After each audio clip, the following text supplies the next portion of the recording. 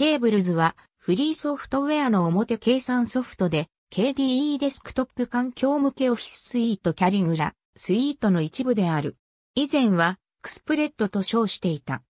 テーブルズは複数の表からなるドキュメントを扱え、各種フォーマットに対応し、300以上の組み込み関数を備え、テンプレート、チャート、スペルチェック、ハイパーリンク、データソートといった機能をサポートし、Python、Ruby、JavaScript でスクリプトをかける。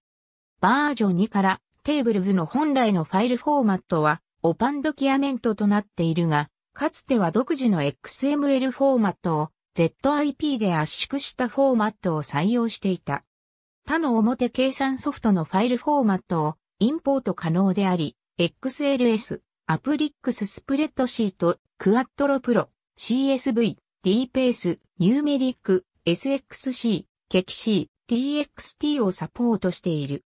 エクスポート可能なフォーマットとしては、 OpenDocument スプレッドシート、SXC、 Tables ドキュメント、CSV、HTML、 Gnumeric、 TeX、TXT がある。XLS にはエクスポートできない。ありがとうございます。